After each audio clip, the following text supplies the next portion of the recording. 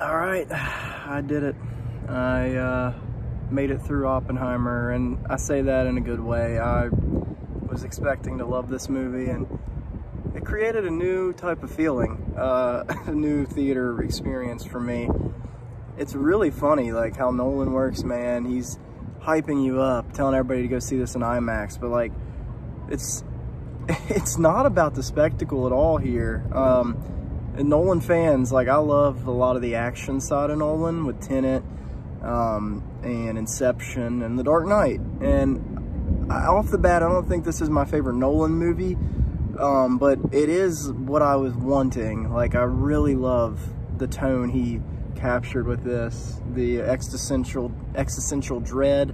Um, yeah, it was great. And Cillian, man, Cillian Murphy, I've told people for years how good of an actor he is, and now it's right there on the screen. If you're there, you can't deny it. Uh, this is a different type of performance. He's on a different plane of existence than everybody else here. Like, what he was doing and going through in these scenes is incredible. And he's not really like stretching a lot of emotions verbally, but internally, it's a very subdued internal performance. And there's no way you can turn your nose up or ignore the greatness here and deny him of his crown. I mean, this is Oscar worthy. It'll be hard for anything to, to pass over him right now. He is laps ahead, laps ahead of everybody uh, on the acting spectrum right now. And I, have thought that since Peaky Blinders. And it's a similar type of character, but Thomas Shelby's a lot more loud and has a lot more, he just, he keeps things bottled in. He's a mastermind, but yeah, often I really love the frail nature to this character. And, and it was really the best way to sympathize with him because Nolan doesn't craft this story to make you cry or, um, to make like you, the, the, the history about it like you definitely got to hear him out and understand what actually was going on yeah, I walked away from the theater. I'm this Bath and Body Works, or no, it's a nail salon. Whoops. Yeah, I couldn't get any damn service beside the theater, but came down here to see this in IMAX, and it was worth the drive. Some of those sounds um, were incredible. But yeah, I'm just not going to be able to get in Cillian's head, his face out of my head, out of my mind. And that was the goal. I was wanting that, and I'm just proud of my favorite actor right now.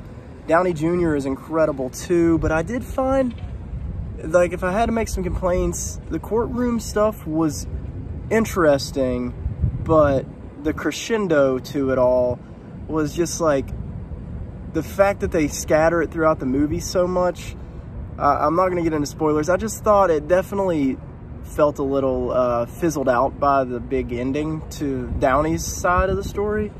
But Emily Blunt, her, she gets her moment. Um, Florence Pugh really rocks. Uh, the way they scattered her into the story.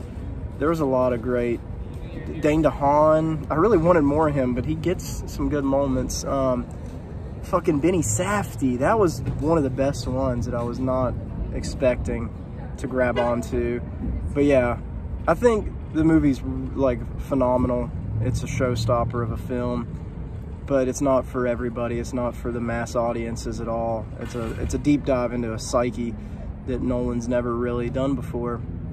So yeah, I, I, I like that though. I'm just wondering how it'll affect the population. And I, it, it really like, it got an applause at the end. It, the message is really good and it's something that you can predict. You can kind of just know what the message is if you know the story of this man. But uh, the lines, when they deliver them, they really hit. Uh, Cillian was just owning every second. The detonation scene was incredible. I loved how they handled all that. I can see some people wanting more. Oh, I want some fucking explosion and action. The fucking movie is not an action movie. It's a hard R. It's not a hard rated R movie, but it's definitely rated R.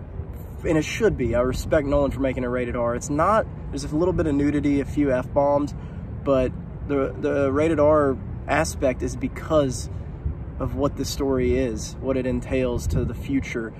And the way they capture that It's it's really brilliant, and this should be rated R in any reality when you're telling something this morbid.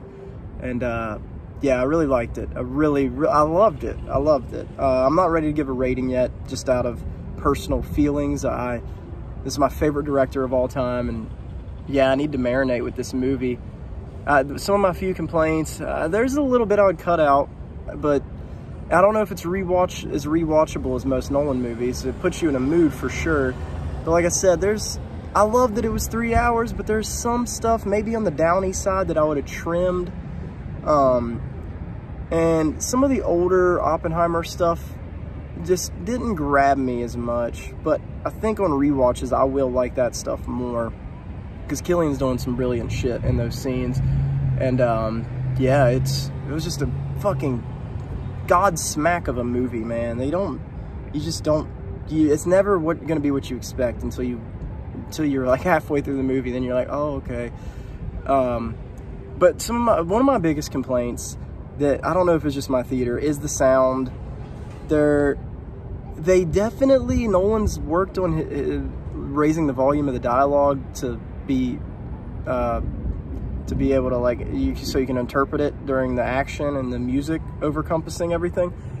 And some of the dialogue you could tell was placed in there in a sloppy way. I feel like when cillian when oppenheimer would be talking and there would be a in certain rooms or scenes and there's music and sound effects going on around him i could hear like a almost like background noise in his dialogue like it was weird. It was weird, and I don't know if that was just the theater or what. Even in the scene at the end when he's in a room, like when he would talk, I would hear almost a buzzing noise behind his dialogue, and then when another character would talk, it wouldn't sound like that. So I don't know if they just had a bad time doing the ADR or something.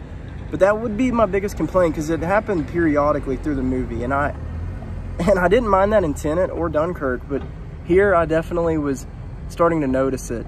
But that's, the, like I said, it's the first time I've seen a Nolan movie in IMAX, so that might be why it was so clear, because you can hear every fucking little bug walking on the pavement in this movie. The sound is really good. But like I said, sometimes the mix is a little weird to me. But I'm, I'm excited to watch it in another theater, uh, lesser theater, and at home when it comes out on 4K. Um, but yeah, I'm happy to report I really enjoyed the movie. I didn't, like, it's hard to say enjoying because it leaves you fucked up. It really wrecks you. But i I'm proud of cinema. I'm proud of Nolan. I'm proud of these creators. This whole team. Uh, he's crafted the all-stars of Hollywood. I mean, uh, with Hoyte with the cinematography and Ludwig with the score and this cast, he's really polished it through his years of filmmaking, polished out the best roster of a film filmmaking crew. And uh, yeah, you're watching these people make a bomb, but the real star of this movie is thinking of these people making this movie. Like, like it's almost like a parallel, you know? Like they're they created something great in time with this movie, but it's touch, touching on a different part of time where they created something really wrong. And uh, yeah, it's it's everything you're expecting, but not what you're expecting. Uh, it's the best way I can end this.